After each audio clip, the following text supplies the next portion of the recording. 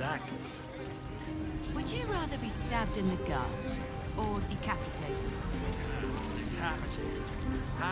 It was another day in the City of Lies, Baldur's Gate, where the people begged for justice until they starved. Two heroes were fated to cross paths that day. Their eyes met. Destiny was calling. Strangers? Only in a fool's definition of the word. It was the start of something incredible.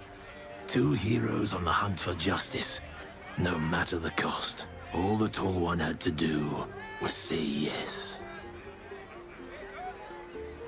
The Tall One had passed the first test. The second would come when they were ready. And not before. When would they be ready? Only the Tall One and Fate truly knew.